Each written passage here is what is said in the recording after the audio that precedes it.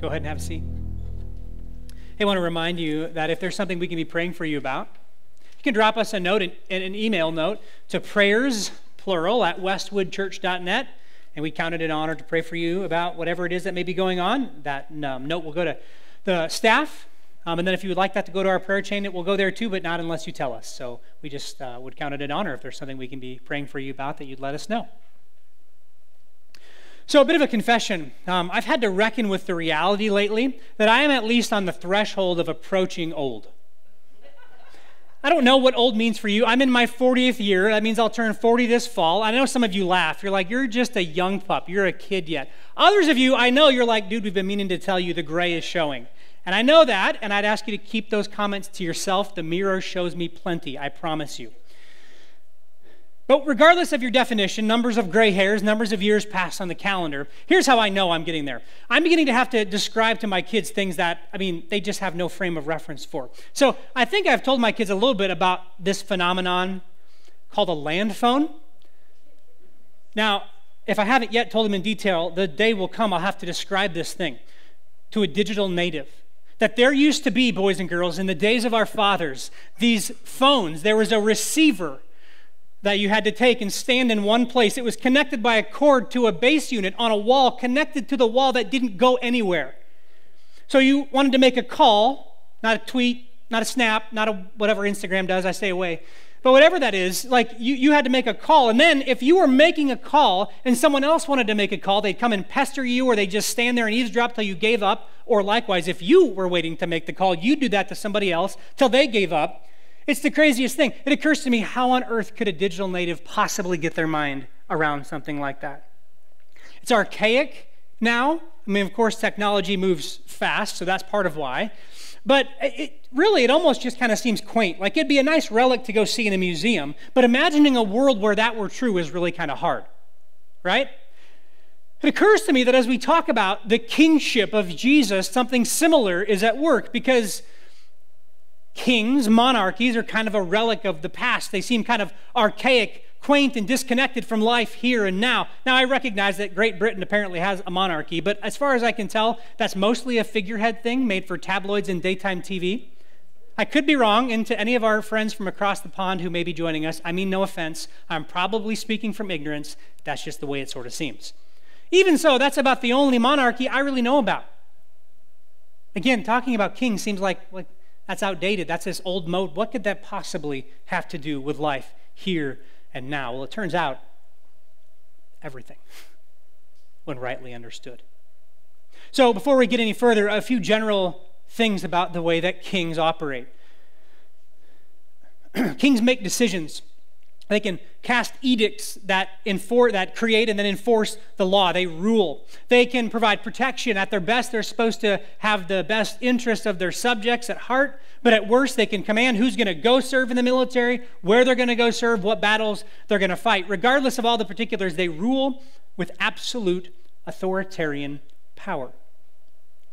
Kings were not chosen by popular vote, they were appointed whether the people wanted them to be or not.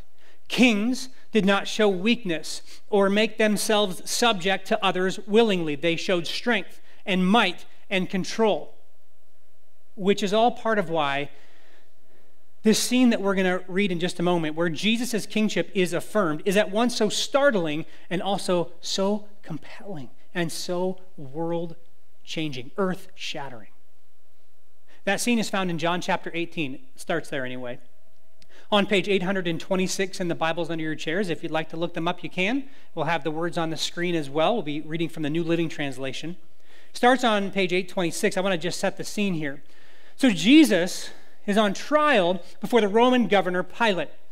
But he has been sent there not by the Romans, but by his own people, the Jewish leaders. In fact, the high priest Caiaphas was where he was um, under trial the night before, or the early morning. And that had all been as the result of an escalating conflict between Jesus and the religious leaders of the day. The problem was they wanted to get rid of him, and the more that they tried to cast him off and speak badly of him, the larger the crowds grew. The more his influence grew, the more they felt threatened, and so they knew they had to get rid of him by killing him, but they couldn't. The Romans could. So they found a way to bring him before Pilate on the charge of being a king. That's where we'll pick it up. Would you stand, please? As I start in John 18, verse 28, and read through verse 5 of the next chapter. Jesus' trial before Caiaphas ended in the early hours of the morning. Then he was taken to the headquarters of the Roman governor. His accusers didn't go inside because it would defile them and they wouldn't be allowed to celebrate the Passover. So Pilate, the governor, went out to them and asked, What is your charge against this man? We wouldn't have handed him over to you if he weren't a criminal, they retorted. Then take him away and judge him by your own law, Pilate told them. Only the Romans are permitted to execute someone, the Jewish leaders replied. This fulfilled Jesus' prediction about the way he would die. Then Pilate went back into his headquarters and called for Jesus to be brought to him. Are you the king of the Jews? He asked him. Jesus replied, Is this your own question, or did others tell you about me? Am I a Jew? Pilate retorted. Your own people and their leading priests brought you to me for trial. Why? What have you done? Jesus answered, My kingdom is not an earthly kingdom. If it were, my followers would fight to keep me from being handed over to the Jewish leaders. But my kingdom is not of this world. Pilate said, So you are a king. Jesus responded, You say, I am a king. Actually, I was born and came into the world to testify to the truth. All who love the truth recognize that what I say is true. What is truth? Pilate asked. And then he went out again to the people and told them, He is not guilty of any crime. But you have a custom of asking me to release one prisoner each year at Passover. Would you like me to release this king of the Jews? But they shouted back, No, not this man. We want Barabbas. Barabbas was a revolutionary. Then Pilate had Jesus flogged with a lead tipped whip. The soldiers wove a crown of thorns and put it on his head, and they put a purple robe on him. Hail, King of the Jews, they mocked as they slapped him across the face. Pilate went outside again and said to the people, I am going to bring him out to you now, but understand clearly that I find him not guilty. Then Jesus came out wearing the crown of thorns and the purple robe. And Pilate said, Look, here is the man. We'll stop our reading there. My friends, this is God's word to us today. Thanks be to God. God, thank you for your word. As always, may you teach us and transform us through it by the power of your Spirit in whatever way you see fit. May that be so. Amen. Go ahead and have a seat. So, before we come back to this passage specifically, I want to talk for a moment about kings in Israel. Israel, the name of God's people as recorded in the story of the Old Testament. There were lots of similarities to, between the way that they, their kings operated and the way that kings operated in the world around them, but there were also a couple of very important differences. The first among them, the most important, is this God's people have always believed that God Himself is king over all the universe, with Israel being God's special possession. So He was king to them in a unique way, but God was the creator of heaven and earth. He was the supreme sovereign over the entire universe. This is reflected in the scriptures all over the place. Matter of fact, as I was considering grabbing one or two to show you, I was like, where do I start? It's everywhere. And the places it isn't explicitly said, it's assumed as a given that God is supremely king over all creation. Now, the earthly kings of Israel, they came into being later. And it's important to note that they were not God's plan A. They were a concession. They were a, a, compromise of sorts, and they came with warnings. The way it went was from the earliest beginning of the Bible in Genesis, there are kings in neighboring countries, but Israel didn't have a king. They had other earthly figures who would provide leadership in this way or that, but they didn't have a king. As the story unfolded, after they had entered the promised land, eventually time goes on to the point where the people begin to say, We want a king like our neighbors around us. A king who can be here, who can lead us, who can lead us into battle. And so they ask God through the prophet Samuel for an earthly king. And so the prophet Samuel goes to God and explains the request. And it's interesting that God replies to Samuel, because Samuel was filling something of a leadership role at the time. God says to Samuel, you need to know this. They're not rejecting you, they are rejecting me, actually, as their rightful king. And give them these warnings, and I'll paraphrase. Essentially, he warns them that if they choose an earthly king, this king will turn like the rest of kings, self serving. This king will use you instead of serve you. He will brutally oppress you and tax you heavily. He'll take your sons to do with what he wishes as his servants, soldiers in his army to fight his battles. He'll take your daughters to make them servants in whatever way he sees fit. Again, he'll rule over you oppressively. He'll live lavishly on your backs, and he'll serve his officials who serve him. He will use you instead of serve you. And to that, the people said, Give us a king. So God gave them a king. It's important to recognize that even when he did so, God was still the true king. God's rule was supposed to be made visible through these earthly kings, but that first fundamental reality was never to change. Now, God gave them these earthly kings. First, he anointed through the prophet Samuel, the king Saul. Then there was David. Then there was Solomon. Then there's this split, divided kingdom, Rehoboam and Jeroboam. There is then, from then on, throughout the story of the Old Testament kings, a northern kingdom of Israel, a southern kingdom of Judah, a long line of kings in both, mostly bad, kind of downward spiral here and there. A few bright spots, notable, important bright spots, but mostly it was a downward spiral because that's important to recognize God's prediction, his warning, was absolutely right and true. Eventually, there is no king. Because what happens is the people persist in their rebellion and their sinfulness for so long that God allows foreign powers to conquer them and take them out of the land he had promised and then given them. And so, for a time, there literally is no king in Israel or Judah, which makes one promise especially important and interesting. Of the earthly kings, there were these three of the united monarchy Saul, David, and Solomon. According to the Bible, David is clearly the favorite among these earthly kings, despite the many messes he made, and he for sure did if you know his story. Enduringly, he was still known as a man after God's own heart. And so in 2 Samuel 7, God gives to David this promise that one of his descendants will be on the throne of Israel forever, that he will establish his kingdom with justice and righteousness, and his kingdom will have no end. That promise was echoed even by the prophets during this time when there was no king because the people had been conquered. And from the very first sentence of the New Testament, the writers pick up on this promise and say, It is now come. Matthew, first book of the New Testament, chapter 1, verse 1, first sentence. This is the genealogy of the Messiah Jesus, son of David, son of Abraham. Pointing to the fact that Jesus was there to fulfill all God had promised, all the way back to Abraham, when God promised to give his covenant people a blessing that, that they would then in turn bless the world, that one particular descendant would be a blessing to the whole world. Of the promise to the King David to King David that one of his descendants would be on the throne forever. All of that, the New Testament writers say, from the first sentence and throughout, Jesus has fulfilled. And it's precisely at this point that the two identities of Israel's king are folded into one in Jesus.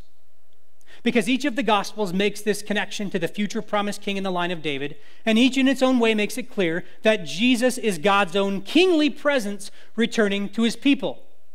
This king in the line of David and God as king come together as one in Jesus, which is why it was so surprising, confusing, and deeply true when Jesus said what he did in this passage that my kingdom is not of this world. Now, the passage that we read is from the New Living Translation. Every translation has to make interpretive kind of decisions. In this one, at the beginning of this section, it says, My kingdom is not an earthly kingdom. But that's a bit misleading because that's not what the original text says. It says, My kingdom is not of this world. And then that phrase is repeated a little bit lower in what we read. And that gives you some insight into why people make these decisions. When they're translating, they think people are going to get bored if we just give the repetition that's in the text because we do. We get bored easy, right? So they make changes to make it a little bit more readable, but that's not what the original says. It says, My kingdom is not of this world, and that phrase is repeated. And it's important that the outset that we don't make a, a mistake in understanding what that means. We have to re- resist this dualistic thinking. There's physical and spiritual, and it was always meant to be divided. That the physical is bad and wasting away, the spiritual is good and should be pursued only and left, and because that's what's going to be left to endure. Faith is a matter of personal, private preference, having no bearing on public cosmic realities. But that is not the division that the Bible imagines. Instead, the point Jesus is clearly making is that if his kingdom was of this world, his followers would revolt violently. In fact, that's exactly what Peter tried to do in a couple of stories just before this in the garden. They come to arrest Jesus. He grabs a sword, he cuts off the ear of one of the soldiers. Jesus rebukes him, heals the ear, and Peter has no idea what to do with that kind of king. And so he flees like the rest. So the point Jesus is making is that if his kingdom was of this world, his followers would violently revolt. But his kingdom not being of this world is not the same as meaning it is not for this world, because it absolutely is. Remember, God is understood to be the king of all things, the creator of heaven and earth. The kingdom of God, the reign, the rule of God breaking into this world is the central theme of the Gospels. Is what Jesus says is happening now that he's there to bring it. It's what the rest of the Bible says has come and is coming in full someday. That God's life, God's kingdom is coming to this earth. So Jesus speaking and acting the way he does before Pilate doesn't mean his kingdom isn't for here and now, but what it means is that the way the kingdom of God comes must be in line with the kind of king Jesus is. Thus, this story of him laying down his life. He's before a Roman governor who would have no power over him if it were not given to him, and yet he surrenders his life in sacrificial love. He is enthroned as king as he's lifted on a cross. He's given a crown of thorns pressed into his head as the blood drips down his brow. That's the reason for the other ways Jesus reverses expectations throughout the gospel stories, and that the message of the, of the gospel turned upside down its original world despite all odds. And it's summarized so well in Philippians 2 when the writer Paul said to a group of Christians who were endlessly bickering with one another. And he said, Your attitude must be the same as Christ Jesus, who, being in very nature God, didn't consider equality with God as something to cling to Instead, he laid down his divine privileges. He humbled himself and became a human, humbled himself and became a servant, humbled himself to the point of death, even death on a cross. And on that it hinges. Therefore, he was exalted to the highest place at God's right hand, and that at the name of Jesus, every tongue will confess Jesus is Lord, every knee will bow and acknowledge he is Lord. The good news the gospel is such good news because of the kind of king God is revealed to be through Jesus. Now, I don't know if you're a fan of Lord of the Rings, but if you're not, I think it's probably time, isn't it? I mean, after all, there was like 10 years when I don't think a single sermon or youth talk was given without alluding to Lord of the Rings. If you're familiar with the movies, then you'll remember this scene I described, taken from the third movie, aptly named The Return of the King there's a scene near the end where the rightful king Aragorn is coronated as king. And there's this beautiful ceremony, and the whole thing is gripping. I may or may not have shed a tear watching that. Because of the kind of king Aragorn has already been revealed to be. If you've followed the saga, you know that he is both full of love and courage. He serves, he puts himself at risk instead of asking others to assume the risk. He is loyal, fiercely loyal, and brave and courageous, the first in battle, not willing to take his place as rightful king until the victory has been won and secured. And that's especially in stark contrast to the one who had been the steward of the throne of Gondor beforehand.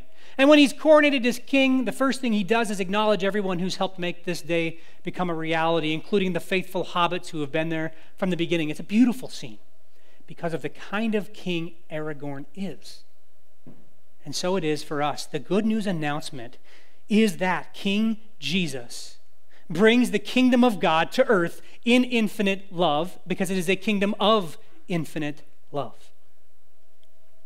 It's amazing how this kingdom is announced as this cosmic announcement of a reality that Jesus is king. Sin has been paid for and dealt with, death has been defeated, now in part, someday in full. Jesus will come again to set all things right. Big claims that come as a personal invitation. Every individual has the opportunity to take their kingdom and surrender it to his or not.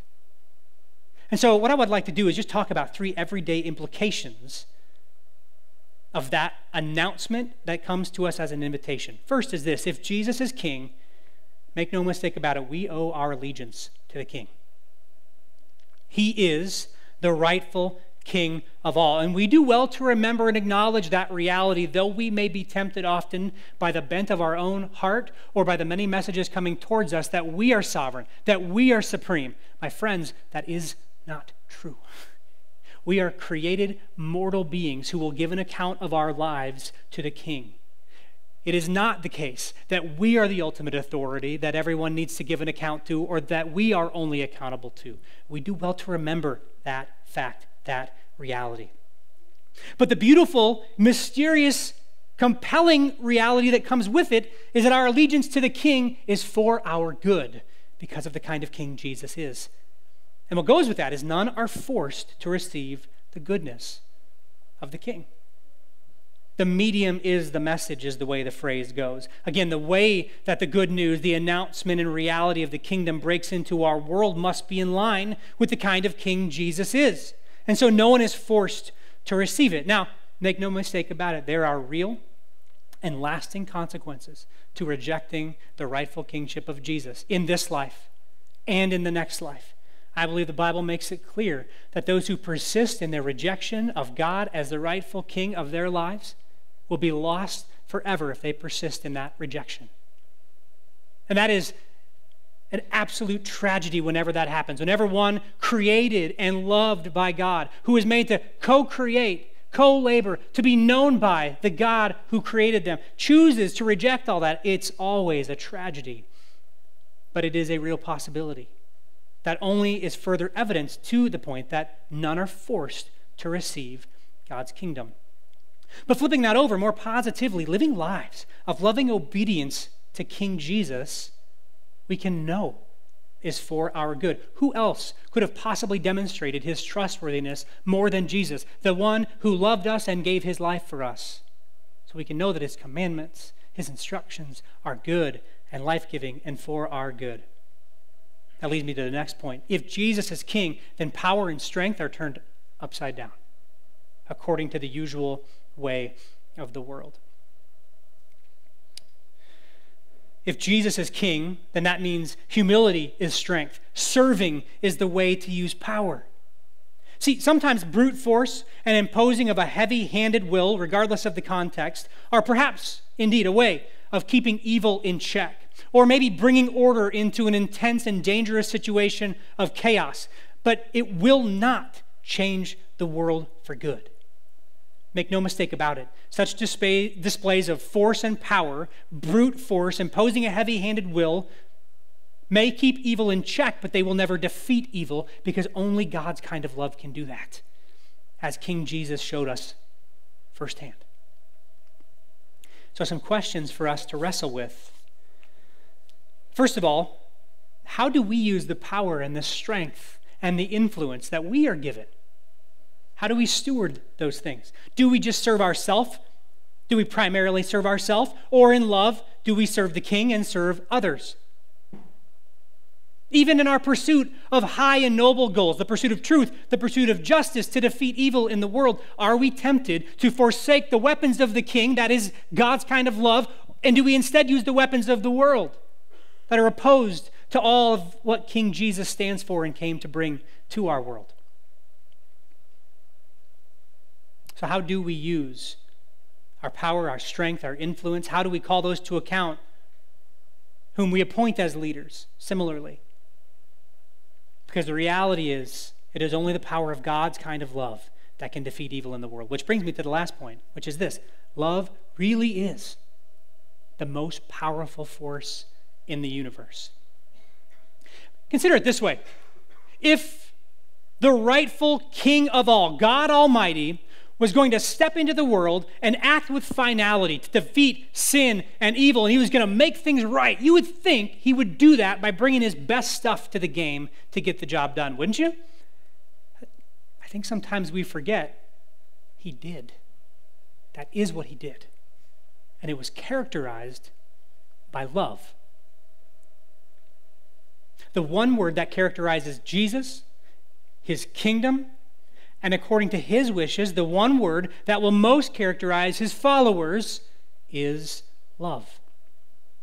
Love gets displayed in all kinds of ways humility and hospitality, courage and sacrifice, truth and faithfulness, and all the other ways the New Testament describes it from there. But the source and animating spirit of all of it is love.